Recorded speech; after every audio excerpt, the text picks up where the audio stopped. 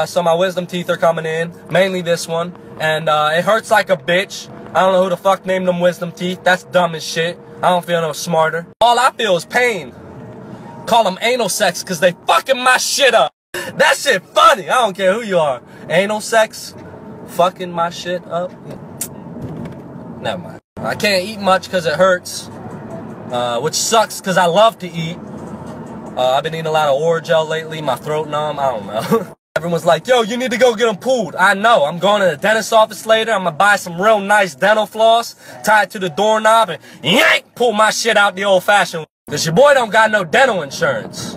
Okay?